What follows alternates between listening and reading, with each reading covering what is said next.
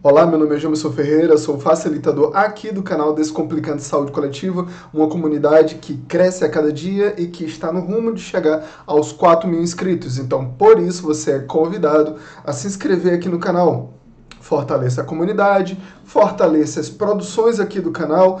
Dessa forma, você vai ter sempre informações, sempre novidades sobre os vídeos que são lançados aqui. Para quê? Para melhorar os seus resultados na sua atenção primária, na sua saúde coletiva, na sua oferta de saúde para a sua população. Então seja muito bem-vindo. Aqui são conteúdos embasados em literatura e legislação, com leitura críticas e exemplos. Por isso, fiquem até o final, vai ter muita coisa boa para vocês nesse vídeo. Então, se liga, a gente vai direto para a portaria que lançou o programa Cuida Mais Brasil. É uma portaria super recente, tá bom? Então, nada melhor do que mergulhar agora nesta portaria. Por isso, é importante que você leia. Eu vou aumentar o zoom aqui, vou diminuir a minha câmera, vou ficar no cantinho para não dificultar esta leitura. Olha só, vou ficar aqui no cantinho e vamos dar total enfoque para a portaria 937 de 5 de maio de 2022. Por que essa portaria é importante? Porque ela institui o programa Cuida Mais Brasil ano 2022 esse programa ele foi apresentado ainda no início de janeiro de 2021. No entanto, a sua instituição e a sua a, o informe né, de repasse de recurso se deu agora no dia 5 de maio, ou seja, esse vídeo ele está sendo gravado no dia 9 de maio de 2022, somente quatro dias após né, a data da portaria. Então tudo é muito recente e a gente vai ter que discutir, pensar e refletir sobre o que se desenha para esse programa Cuida Mais Brasil 2022. A primeira coisa, ela é direcionada para aprimorar a saúde materno-infantil no âmbito da atenção primária. Então é importante que a gente lide com essas palavras-chave. É claro que a gente vai lembrar da rede cegonha e a gente vai entender também que é uma estratégia do governo atual em mudar de nome, né? Assim como mudar de nome, muda-se a linha de investimentos e a condução das ações da, na linha materna infantil. Agora vamos compreender, discutir e refletir sobre esses impactos que estão aqui propostos nessa portaria. Vamos ler nada melhor do que isso, tá bom? Então vamos dar uma reflexão, uma subida aqui na tela e diz que Artigo 1 instituir para o ano de 2022 o programa Cuida Mais Brasil para o aprimoramento de ações estratégicas assistenciais da atenção primária à saúde, APS, nas redes de atenção na rede de atenção à saúde, com enfoque na saúde da mulher na saúde materna infantil. No primeiro, para, no primeiro artigo, é claro que a gente tem que falar para o público que já conhece, para o público que não conhece. Bom, quando a gente fala é, aprimorar as ações da atenção primária, quais são as ações fornecidas pela atenção primária? É o leque de serviços que podem ser executados por profissionais que estão em equipes de atenção primária, como saúde da família, a equipe de atenção primária, consultório na rua, NASF, todas essas linhas podem promover ações para a saúde materna e infantil, mas a gente vai tentar entender o que está proposto realmente nesta portaria. Então, parágrafo único. O programa terá como enfoque a saúde da mulher e a saúde materna infantil. Então, esse binômio, né, saúde materna infantil, a gente vai lembrar de ações de serviço de pré-natal, parto e puerpério, tá bom? A gente começa a desenhar esse programa na nossa cabeça. De que forma isso vai acontecer de acordo com esta portaria? Por meio do financiamento federal de ações complementares as ações da saúde da família. Então, uma coisa, se é uma ação complementar, tendemos a compreender que você não está financiando ou não está fortalecendo a saúde da família. Você vai lançar dinheiro em outra coisa que não é atenção primária. Ou não é a ação realizada pela saúde da família. Porque a saúde da família faz atenção primária é muito importante a gente começar a debater algumas palavrinhas utilizadas nessa portaria. E equipe de atenção primária, porque não só existe equipe de saúde da família, tem EAP e saúde da família, nesse arcabouço que está lá na PENAB, Política Nacional de Atenção Básica, é, portaria 2436 de 2017. Né? Aqui vamos continuar. Considerando a conformação regional da RAIS em cada unidade de federação. Aqui a gente já, pensa, já entende o seguinte: vai cair dinheiro para o município investir em ações e serviços que podem não ser da atenção primária, porque são, são ações complementares, e que essas ações têm a ver com a oferta de serviço da região de saúde. Então, vai implicar em possível pactuação, análise de oferta da região de saúde e possível autorização de CIR, Comissão Intergestora Regional, e até de CIB, Comissão Intergestora Bipartite. Quando a gente processa cada parágrafo, a gente começa a entender de que forma o Ministério da Saúde imagina que vai fortalecer ou aprimorar essa saúde materna e infantil mediante atenção primária tem algumas coisas já no meio do caminho. Vamos ao artigo 2 Objetivos do programa Cuida Mais Brasil. Veja que até o momento não foi citada a Rede Cegonha, porque era o desenho anterior, nascido lá em 2011, né, no governo anterior. Então essa já é uma estratégia já conhecida por nós. Muda-se e também muda-se o nome, né? assim como aconteceu no Auxílio Brasil. Qualquer semelhança é mera coincidência, né? Então, objetivo primeiro: apoiar a organização e a oferta do cuidado da mulher e da mulher e saúde materna e infantil com vistas à redução da mortalidade materna e infantil. Mortalidade materna e infantil é um final, é um desaguadouro de muitos rios, né? como já disse uma professora Cristina Loyola. Então, para a gente entender mortalidade materna e infantil, a gente tem que olhar para a atenção primária, a rede, a oferta de serviços hospitalares, a comunicação entre eles e a qualidade dos serviços e também esse diálogo de referência e contra-referência, assim como os fatores econômicos, a qualidade do atendimento, a cultura, se esse serviço é ofertado dentro da cidade ou se passa por processo de regulação. São muitas coisas envolvidas nesse objetivo. Objetivo 2, aumentar a resolutividade, aumentar a resolutividade da atenção primária em saúde. Bom, atenção primária em saúde, em sua maioria, é ofertado por ações das equipes de saúde da família e equipe de atenção, é, é, é a PES, equipe de atenção primária, né?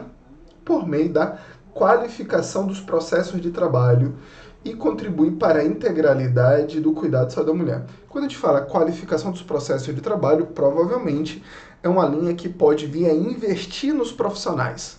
Hum, será que vai ter oferta de capacitação, investimento em capacitação ou apoio institucional, de acordo com a literatura de Gastão Wagner, né, que fala desse apoio? Será que é isso? Vamos ao apoio ao objetivo 3 ampliar e complementar as equipes de atenção primária na condução e cuidado de condições clínicas prioritárias de atenção à saúde da criança e saúde da mulher em período pré-concepcional, gestacional e puerperal e um intervalo intergestacional de acordo com as diretrizes do SUS. Quando a gente fala ampliar e complementar, já está dando uma dica que será que vou alterar a composição? Por quê? Se é apoiar e complementar, o serviço tem que estar na linha da atenção primária ou uma linha que a atenção primária se comunique. Já estou com várias perguntas e que a gente vai continuar a dialogar nesse vídeo. Objetivo 4. Proporcionar espaços de apoio técnico-pedagógico para profissionais da APS de forma integrada aos médicos ginecologistas e obstetras e pediatras, ampliando a capacidade de resposta. Olha só isso proporcionar espaços de apoio técnico-pedagógico para os profissionais da APS de forma integrada. Até aqui é, é fácil de entender. Aos médicos ginecologistas e obstetras. Médicos ginecologistas e obstetras não são profissionais da atenção primária em saúde. Para a composição da atenção primária, o que se espera é que o médico tenha formação voltada à saúde da comunidade, à saúde da família, à saúde do todo, e não que profissionais especialistas venham a compor equipes de atenção primária, principalmente como composição básica. Então, essa linguagem ela tende a várias é, compreensões principalmente é, é, compreensões equivocadas, tá bom? Então, o lugar da atenção primária é de olhar para o todo e não para a especialidade. Então, nessa escrita aqui, pode ser geradas críticas sim.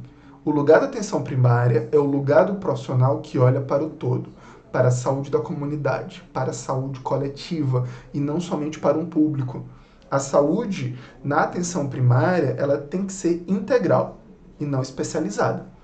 A, lingu a linguagem da saúde especializada, ela, ela para os casos que requeiram a atuação, aí sim, complementar, porque é uma continuidade do processo de cuidado por especialistas.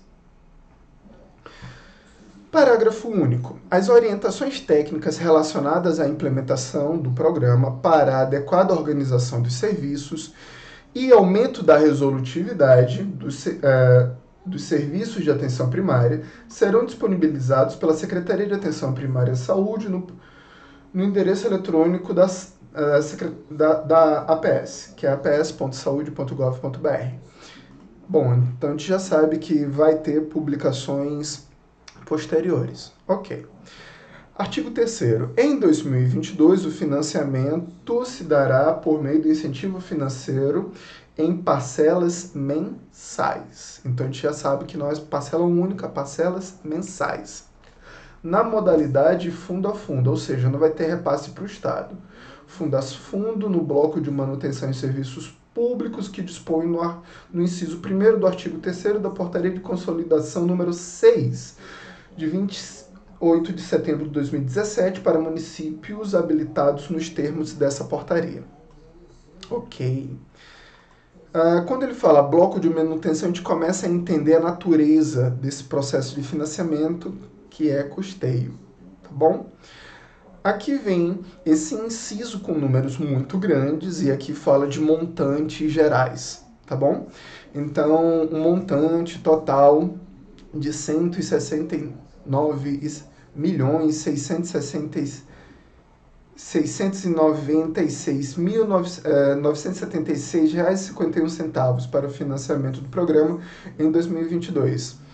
Será dividido por região de saúde, considerando o piso de repasse de 108.684,32 e o teto de repasse de 489.314,42.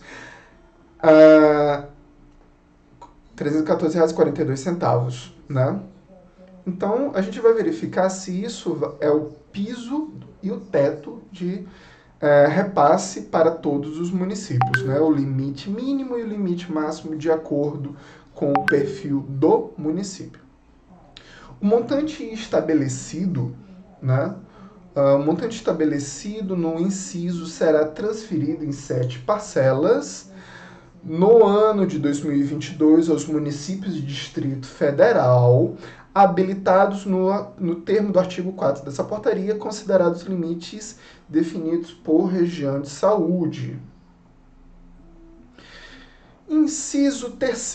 A distribuição dos valores por região de saúde, consoante com o anexo dessa portaria, foi realizada nos seguintes critérios. O que, é que foi analisado para a escolha do repasse a ser feito?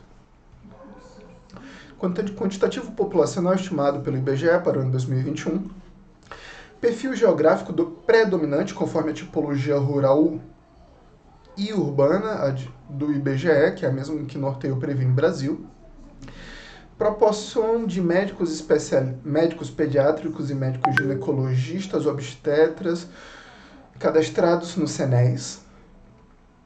Inciso 4. Para a definição da proporção dos médicos pediatras que trata o inciso 3, aplicou-se maior peso às regiões de saúde com a menor proporção de profissionais em relação ao público-alvo. Lembrando, nenhum município ele é obrigado a ter médicos pediatras, ginecologistas e obstetras, porque existem diferentes composições de municípios, ou seja, os diferentes portes. Por isso, os serviços eles são distribuídos na região de saúde. Onde é que apoia essa literatura, essa fala que eu estou tendo no momento? O decreto 7508/2011, que fala da composição das regiões de saúde, que elas os municípios são agrupados mediante características de oferta a serviço, características geográficas e econômicas. Então, nenhum município é obrigado a ter médico, ginecologista e obstetra, Uh, porque o trabalho da atenção primária, quando ele é integral e muito bem feito, assim como a regulação de cada município, quando precisar de maternidade, e não tem no município porque ele é de porte pequeno, na sua região de saúde o processo ele é regulado. Ou seja, um bom pré-natal quando de baixo risco, de acordo com os protocolos de cuidado, pode ser feito integralmente pelo enfermeiro, com pelo menos seis consultas de enfermagem. Então vejam que algumas redações aqui nessa portaria podem levar o nosso gestor ou gestora a entender que se, poxa, por que eu não contratei um médico, é, ginecologista e obstetra? Para melhorar o serviço do meu município, porque não era preciso, porque a atenção primária dá conta, porque nem todo município tem o mesmo perfil. Então não vamos pensar bobagem, por favor, tá bom? A gente tem que entender qual é o papel da atenção primária. A gente tem que ler, questionar e pensar. Vamos lá. Inciso 5. A execução do programa Cuida Mais Brasil nos exercícios posteriores a 2022 dependerá de novo ato formativo do Ministério do Estado da Saúde, que contará com os programas previstos para o artigo 10. Lembrando, tudo que é programa, ele fica sobre a mercê de interesses de gestão tudo que é política tem um poder muito maior, uma durabilidade, uma sustentabilidade muito maior do que um programa cujo financiamento ele é garantido somente em sete parcelas. E o ano que ele foi lançado é um ano bem tendencioso para o lançamento de políticas e repasses de recursos aos municípios, não é? Principalmente quando o financiamento termina próximo ao final do ano. O que é que acontece próximo ao final do ano deste ano específico? Fica a lembrança. Vamos lá. Artigo 4. Uh, ah, artigo 4. Os municípios a serem habilitados para fazer jus ao incentivo financeiro de que trata essa portaria serão aqueles definidos pelas informações, pelas comissões intergestoras bipartite, CIB. Lembra do que eu falei lá em cima? Para serem referências regionais na oferta de atendimentos por médicos pediatras, ginecologistas e obstetras. Aqui a gente está vendo uma valorização da mão de obra médica e não se fala nada até agora sobre a importância do atendimento da enfermagem na atenção primária. A criança, mulheres em período pré-concepcional, gestacional e puerperal, em intervalo intergestacional, em condições clínicas epidemiológicas prioritárias no sistema de informação em saúde para uh, nos, prioritárias no sistema de informação em saúde para atenção básica. E aqui já fez uma bagunça. Vamos traduzir isso. Cabe à CIB oficializar as referências de cada região de saúde, que são as CIRS, né? Que, em, cada, em cada região de saúde existe a Comissão Intergestora é, regional, que é uma instância menor, que é onde os municípios mais próximos se reúnem, definem, fazem seus acordos e esse, esses acordos e negociações sobem para um nível maior, que é a CIB, onde tem representantes de todas as regiões de saúde de todos os estados. No caso, essa decisão é por estado. Uma coisa que é importante a gente pensar e tomar cuidado, quando ao final do processo ele informa as condições clínicas epidemiológicas prioritárias no sistema de informação CISAB, é, é porque o pré-natal realizado pelas equipes de atenção primária e profissionais é, da atenção primária vem do CISAB. Então, obviamente, a fonte de informação para análise do que acontece nos municípios é o CISAB. Então, um, um, parágrafo desse fica complicado de, de entendimento, artigo 4. Inciso 1 do artigo 4. O processo de definição dos municípios pela CIB deve observar as seguintes condições. É por isso que em muitos estados a CIB está muito movimentada essa semana e vai continuar movimentada esse mês de maio por causa do lançamento dessa portaria, já que se trata de repasse de recurso, ou seja, recurso novo. Ok? Então, o que é que a CIB deve observar? A definição dos municípios deverá ter como referência o processo de planejamento regional integrado, a PRI ou PRI, que nada mais é um processo com linguagem atualizada daquele planejamento e pactuação interno, ou seja, de característico de cada região de saúde, a ser e ser aprovada pelas respectivas eh, comissões intergestoras regionais, ICIB, publicada em resolução encaminhada por meio de ofício ao Ministério da Saúde. Então, não é somente uma decisão da CIB, ela tem que vir de pactuações específicas em cada região de saúde e depois subir para a CIB e após fechar a resolução, encaminhar, oficializado e encaminhado ao Ministério da Saúde. Esse é o fluxo. As resoluções CIB poderão indicar mais de um município como referência de região de saúde em respeito às particularidades locais. Existem municípios, existem regiões de saúde que possuem municípios muito distantes das sedes das regiões de saúde. Existem também regiões de saúde mais desenvolvidas, com ofertas de serviço materno-infantil que não estão localizadas somente na sede da região de saúde. E essa, uh, essa rede de serviços ela tem que ser muito bem analisada para verificar se podem ter mais de uma referência por região de saúde. E pode estar tá aqui reconhecido. Não é adequado centralizar tudo somente em um local, considerando a distância e a dificuldade de acesso dos municípios mais distantes à sede, ok? Terceiro, nas situações em que a CIB indicar mais de um município, a região deverá indicar a, na resolução o valor por município, observando, observando o montante pré-definido para a região de saúde, conforme o anexo dessa portaria. Ok. Inciso 2. Ao contar da data da publicação dessa portaria, as CIB terão 40 dias, olha aqui o prazo. As CIB terão 40 dias a, a, partir dessa publicação da portaria, que foi dia 5 de maio. Então, a gente está finalizando, né? A gente vai fechar o mês de maio, né? e vai entrar do mês de junho para a definição disso, mas isso é um prazo limite. Vamos lá. Para, para quê? O envio das resoluções da CIB, da CIB ao Ministério da Saúde, com a definição de municípios considerados referências regionais para serem habilitados ao recebimento do incentivo financeiro. É por isso, senhoras e senhores, que o mês de maio vai ter tanta correria para reunião de CIR e de CIB.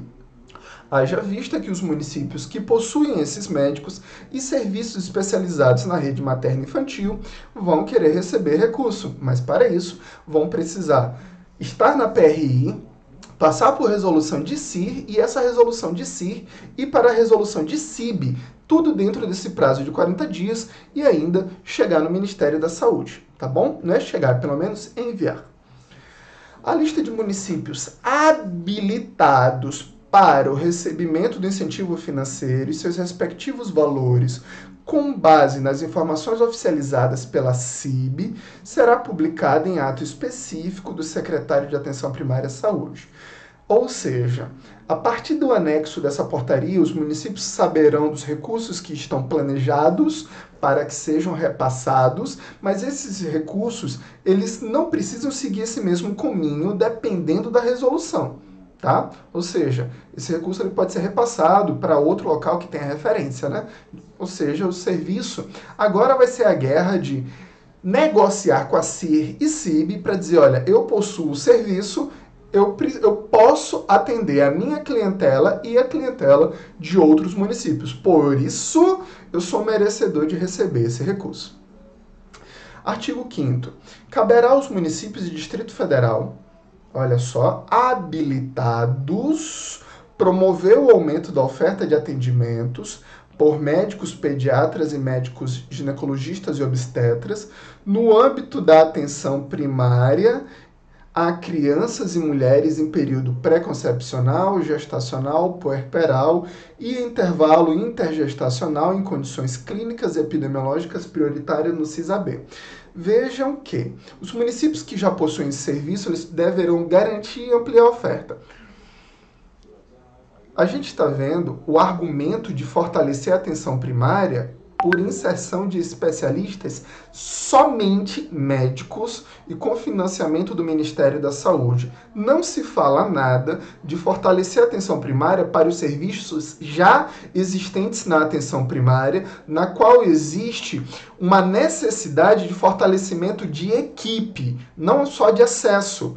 Por quê? A gente tem que considerar que a oferta para a saúde da criança, a oferta de pré-natal, já é realizada na atenção primária. E isso não está sendo considerado. Não está sendo considerado o número de equipes de atenção primária, não está sendo considerado o número de médicos e enfermeiros que compõem essas equipes, somente os serviços de especialidade. Então já existe uma distorção e uma desvalorização da visão da importância da atenção primária sobre as áreas saúde materno-infantil, saúde da criança e pré-natal. Então, essa proposta aqui em nada fortalece a atenção primária. Fortalece o repasse de recurso aos municípios em ano eleitoral, analisando a oferta de serviços de especialidade e não considerando que os municípios que mais possuem necessidade de atenção primária, não é que eles tenham que é, receber acesso em municípios, distantes, não é isso. Eles precisam fortalecer acesso aonde tem atenção primária, ou seja, nas unidades de saúde. Então, os argumentos apresentados aqui são completamente frágeis e não verossímeis, não verdadeiros. Vamos continuar, né? A gente está falando de um estudo de portaria e legislação. Artigo 6. Para fim de monitoramento e avaliação do programa Cuida Mais Brasil são observados o indicador de recurso, que é o quantitativo de profissionais médicos, ginecologistas e obstetras registrados no CENES, o indicador de processo, produção de atendimentos relacionados à saúde materna infantil, considerando o quantitativo de crianças e mulheres em período, aquela mesma história, é, pré-concepcional, gestacional, puerperal e intervalo intergestacional, registrados por profissionais médicos, pediatras e ginecologistas e obstetras na aplicação do ESUS APS, ou seja, em nada foi considerado a produção da enfermagem para a elaboração dessa linha de financiamento, em nada. E aqui eles, eles afirmaram que as informações elas podem é, ter coletadas de CDS, PEC, TRIFT, ou seja, qualquer outro programa utilizado como prontuário eletrônico é, privado para analisar esse indicador de processo. Indicadores de resultado. Desempenho dos indicadores de saúde materna infantil do programa Previne Brasil a partir da inserção dos profissionais. Indica indicadores do Pacto de Mortalidade Materna Infantil, que é a razão de mortalidade materna e a, realiza a realização da mortalidade neonatal. Artigo 7 o monitoramento do que trata o artigo 6 não dispensa o ente beneficiário de comprovação de aplicação de recursos financeiros recebidos por meio de relatório anual de gestão, que é o processo obrigatório de transparência de aplicação desse recurso, de manuseio desse recurso. Não tem nenhuma novidade. Artigo 8 A transferência do incentivo financeiro do programa Cuida Mais Brasil será suspensa na ocorrência das hipóteses. A ausência de envio por três competências consecutivas de informação de atendimentos médicos, pediatras ou médicos ginecologistas e obstetras de crianças e mulheres em período pré-concepcional, gestacional e puerperal, intervalo gestacional em, em condições clínicas e epidemiológicas prioritárias no CISAB. Isso, essa redação, ela precisa ser melhorada, ela gera muita dúvida, porque ele fala de serviços de especialistas atuando na atenção primária ou prioritárias no CISAB. A pergunta é, até o momento, onde vai ser feito o registro desses atendimentos, já que esses médicos ele não constam na atenção primária e o lugar deles é na linha de especialidade. para fins de monitoramento de que trata o inciso 2 do caput do artigo 6.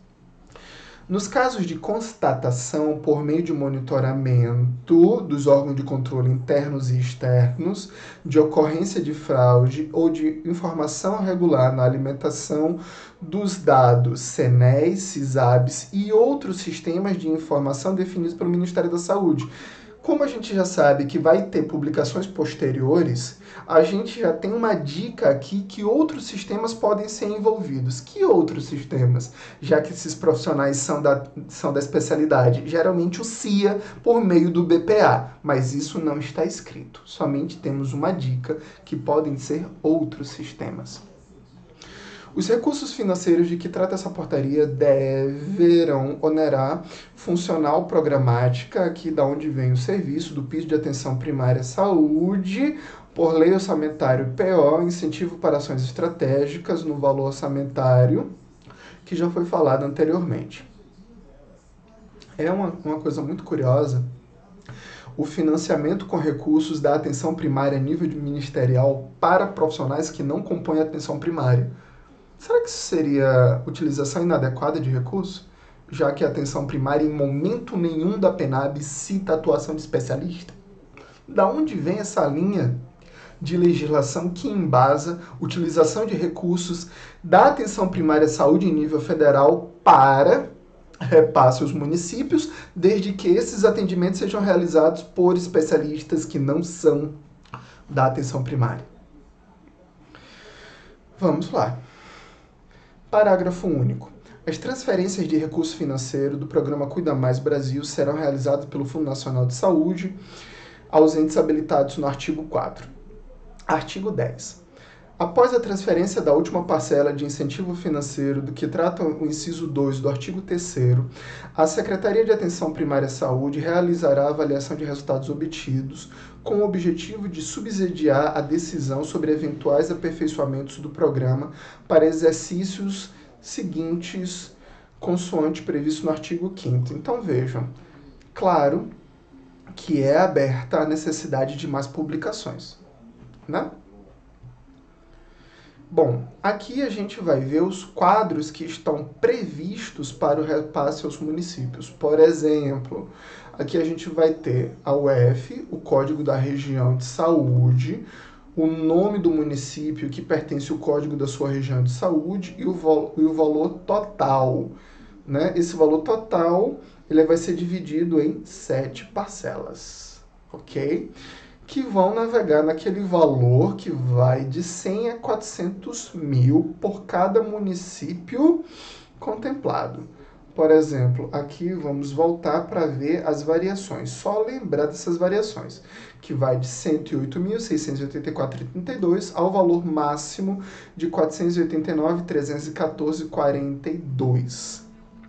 E aí, Uh, aqui embaixo vai ter as possibilidades de financiamento já calculadas né, nesses intervalos, na quais os municípios vão é, analisar. Aqui é uma coisa importante que a gente observe o seguinte: aqui não tem o um nome do município, aqui tem o um nome da região de saúde. Dessa forma, como não tem o nome do município, cabe a si analisar o valor, verificar as referências em cada região de saúde, oficializar essa negociação no PRI. Essa negociação fecha a resolução CIR e depois vai para a resolução CIB e depois vai ser enviado ao Ministério da Saúde. Bom, essas são as minhas considerações diante daquilo que está publicado pelo Ministério da Saúde. Vamos aguardar novas publicações, já sabendo que, as, que os jogos já começaram, tá bom? Então eu espero ter ajudado uh, nessa procura e nessa compreensão das peças publicadas pelo Ministério da Saúde, né, e que tanto interessa os municípios. Gostou? Por favor, dê o seu joinha, dê o seu like, deixa um comentário, compartilhe, se inscreve aqui no canal. A gente faz de tudo para melhorar a saúde coletiva no seu município.